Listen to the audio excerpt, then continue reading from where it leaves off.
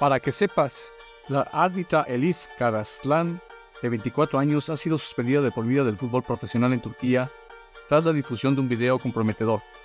Karaslan, visiblemente afectada, ha declarado que este material fue generado mediante inteligencia artificial y que la situación ha dañado profundamente su vida tanto emocional como económicamente.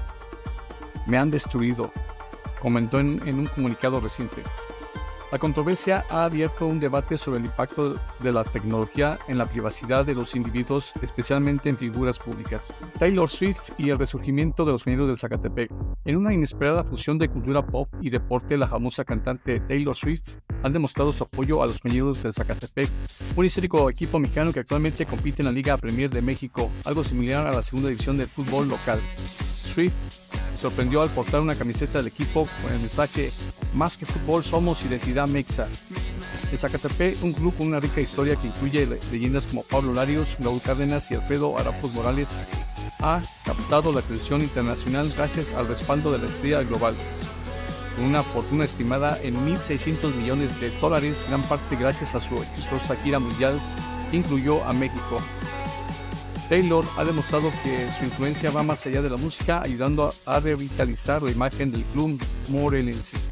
Bofo Bautista resalta polémica tras críticas a Boca Juniors. Adolfo Bofo Bautista, jugador de las Chivas, vivió uno de los momentos más memorables de su carrera al publicar un video en redes sociales sobre la victoria de 4-0 de Chivas sobre Boca Juniors en 2005. En el video, Bautista aprovechó para criticar a Fernando Gago, ex entrenador de Chivas, escribiendo, eres una basura como director técnico, sin principios y lealtad. Mercenario, recuérdale a tu nuevo equipito que subiste en el mejor equipo de México.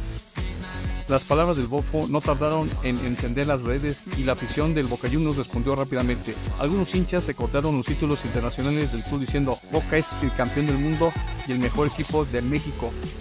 No puede ni competir en la segunda división de Argentina.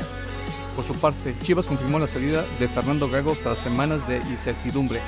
Aunque el técnico negó en todo momento haber tenido contacto con Boca Juniors, su salida dejó una sensación de molestia entre los seguidores rojiblancos. Uno de los nombres que suenan con fuerza para tomar las riendas del equipo es el de Robert Dante Siboldi, quien se perfila como un candidato fuerte para ocupar el banquillo del Guadalajara.